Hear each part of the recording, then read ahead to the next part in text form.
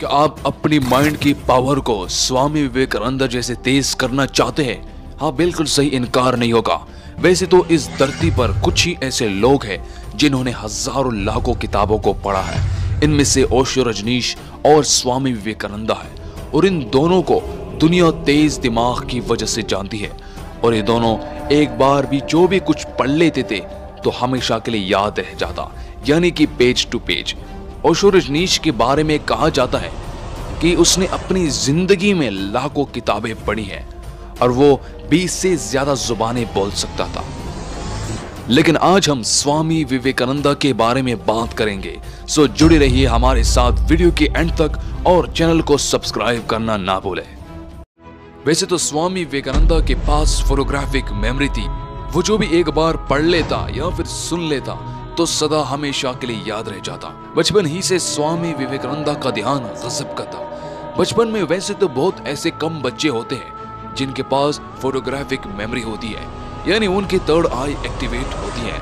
ये कहना बिल्कुल भी गलत नहीं होगा कि जिन बच्चों की थर्ड आई एक्टिवेट होती है, इन्होंने ज़रूर पास लाइफ में कुछ अच्छे कर्म और ज़्यादा साधनाएँ की होती है। वैसे तो स्वामी विवेकानंद का बचपन ही से उसकी मस्तिष्क की क्षमता काफ़ी अच्छी थी।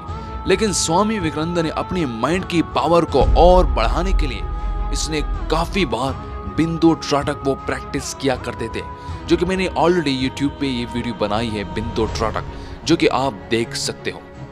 दोस्तों, अगर कोई स्वामी विवेकानंद की इन दो बातों पर अमल करता है तो वो अपनी माइंड के अंदर शक्तियों को अनलॉक करता है। ब्रह्मचर्य और मेडिटेशन मेडिटेशन यानी ध्यान।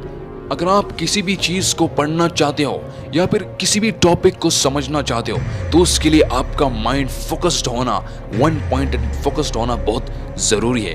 यानी आपका माइंड उस काम में फोकस्ड होना बहुत ज़रूरी है, अगर आप उस काम में एक्सीलेंस हासिल करना चाहते हो। यानी आपको एक ही वक्त में एक ही काम करना है। स्वामी विवेकानंदा का कहना है do one thing at a time and give your mind and soul to that thing so this is the way to success यानी कि आपको एक ही वक्त में एक ही काम करना है और उस काम में अपनी आत्मा डबो दे और यही एक रास्ता है उस काम में सफल होने का सक्सेसफुल होने का। दोस्तों, स्वामी विवेकानंद के मुताबिक जो इंसान ब्रह्मचर्य का पालन करता है 12 साल तक लगातार तो उस इंसान के बॉडी के अंदर अद्भुत शक्तियाँ डेवलप होने लगती है। आप लोगों ने शायद निकोला टेस्ला का नाम ज़रूर सुना होगा, जो कि एक जीनियस इनोवेटर तो था ही, बल्कि इसके साथ साथ एक जीनियस साइंटिस्ट भी था, जिन्होंने 300 से ज़्यादा इन्वेंशंस की। और ज़बरदस्त बात यह है कि निकोला टेस्ला भी एक ब्रह्मचरी थे।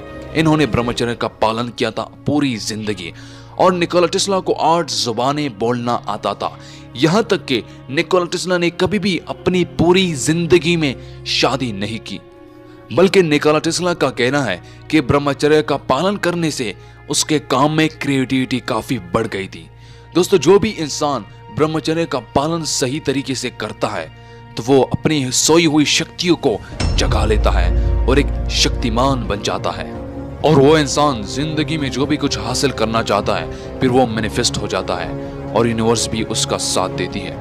अगर एक बार लाइफ एनर्जीज यानी यूनिवर्स आपका साथ दे तो दुनिया में ऐसा कौन सा काम है जो आप नहीं कर सकते?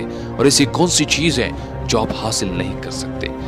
सो दोस्तों, ये थी हमारी आज की वीडियो। अगर आप लोग हमारी वीडियो पसंद आई तो सब्सक्राइब कीजिए स्पिरिट की दुनिया को। और जुड़े रहिए हमारे साथ। मिलते हैं अगले वीडियो में। तब तक के लिए अपना ख्याल रखिएगा।